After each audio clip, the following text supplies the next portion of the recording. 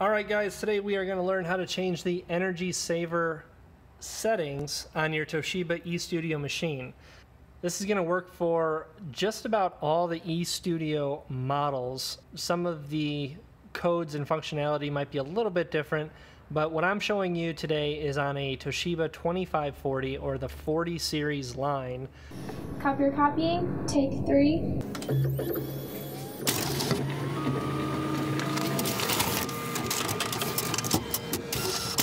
So if you remember from one of my previous videos, I showed you how to change the energy saver mode by going into the user functions, then going into the admin tab. Again, it asks you for a password. The default password is going to be 123456. Then what we're going to do is go to the general icon and then the energy saver icon. You can see we have three different options. We have the weekly timer, and that'll allow us to turn on and shut off the machine at different times each day of the week. You can see right here, if we hit change, we can choose which day and what time it turns on and turns off.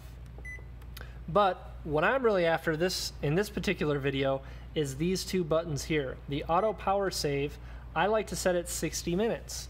Uh, that just means that if the machine has not gotten a print job or a copy job or anything, nobody's used it in 60 minutes, it's going to go into an energy saver mode, which is just going to reduce the power. So obviously that's good and we want to keep it at 60, but you can set it to whatever amount of minutes you want. And then the other thing is the sleep and super sleep. I like to set mine at 120 minutes for the sleep timer, which again means if nobody's used the copier in 120 minutes, it's going to go into a low power state. Now, you can set it to whatever you want 90 minutes, 60 minutes, whatever is beneficial for you and your company. Most of my clients like 120 minutes, and I haven't had any complaints about that, so that's where I set mine. Now, the super sleep option, you have enable and disable. If you've watched my other videos, I told you that um, I have had a couple clients tell me in the past that when they have this super sleep enabled, occasionally, not every time, but the machine just doesn't wake up from that. So I always disable it. And ever since I started doing that, I haven't had any issues with machines not waking up. So that's what I like to set it at. But then there's another issue. Sometimes, and I've come across this maybe a handful of times over uh, multiple different machines, but occasionally when we go in, let me go back. So when we go into general and we go into energy saver, occasionally those two options, that auto power save that we just looked at and the sleep and super sleep that we just looked at, these buttons are just completely missing. And I don't know why that is. I've tried to format the hard drive, reinstall the software, but for some reason, uh, they just don't show up. And I, maybe there's a code that I'm missing or something that I'm missing on the service manual that, uh, uh, that will allow those buttons to come back, but I just haven't found it yet. So now I'm going to show you how to change those settings if those buttons aren't there for you to actually press. And in order to do that, we need to go completely out. We can hit the FC button to go back to the main page. We're going to shut down the machine and we're going to go into the 08 service mode. So I'm to shut it down by pressing and holding the on off. Wait for it to say shut off or shut down in progress.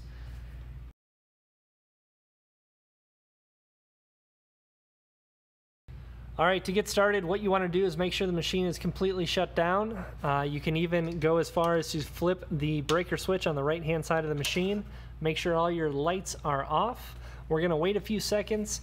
We're going to start it up by pressing 0 and 8, holding them down while flipping the breaker switch on. We're going to continue to hold those buttons until these buttons light up. Once they light up, you can release.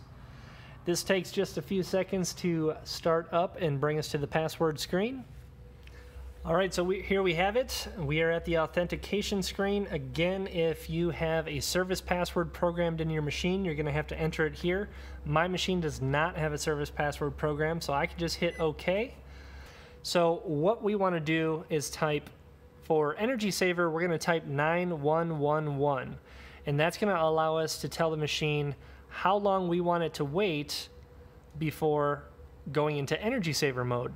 Then what we want to do is type 9112 and that's going to uh, give us the ability to change the sleep mode.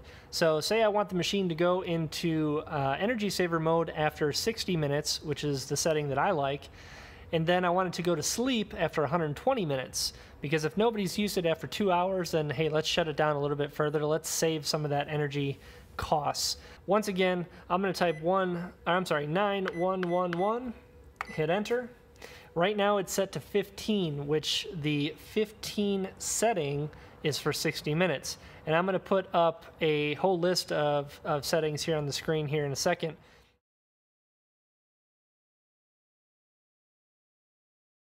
But 15 is the number that I selected because that will set it at 60 minutes for the energy saver mode. I'm going to hit OK. Then I'm going to go again into 9112. This is the sleep mode. And again, you can see that the setting is set at 15 because that corresponds to 120 minutes, which again is what I like to set my machines at. I'm going to put up a, another screen for the sleep mode and all the options that you have there as well. So check that out if you want something different than 120 minutes.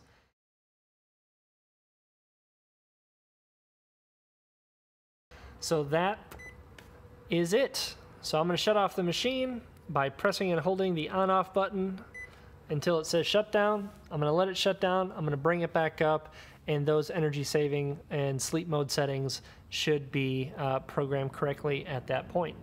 So I hope that helped. Thanks for watching.